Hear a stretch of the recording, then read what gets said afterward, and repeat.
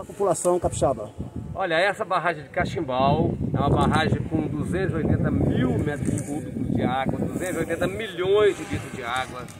É uma barragem importante para Jaguaré. Jaguaré conquistou duas barragens, barragem de Água Limpa e barragem de Cachimbal.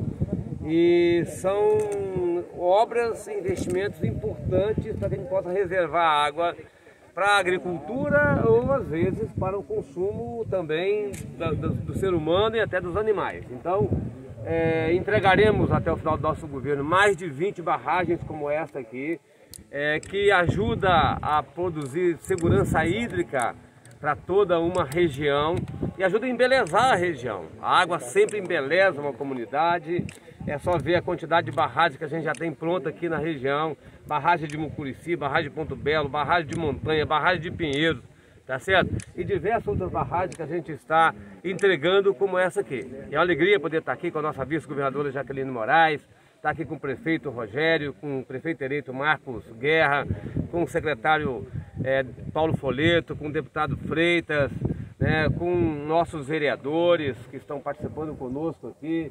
É, muito obrigado por você. Jonias, prefeito de, de Poção da Barra, Cafeu, vice-prefeito eleito de São Mateus. Então, bom estar junto com as comunidades, com as lideranças dessas comunidades, porque é são investimentos que nós vamos dar sequência daqui para frente, porque o nosso objetivo é estruturar toda uma região, especialmente com relação à segurança hídrica, que é fundamental para que a gente possa ter o desenvolvimento.